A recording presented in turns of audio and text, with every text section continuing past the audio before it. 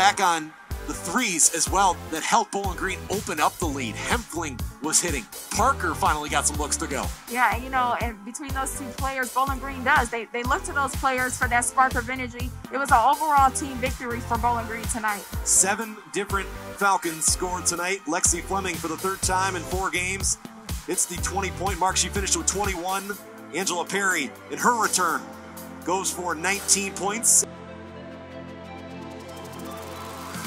Well, started the season 4 0 for the first time since the 2013 2014 season.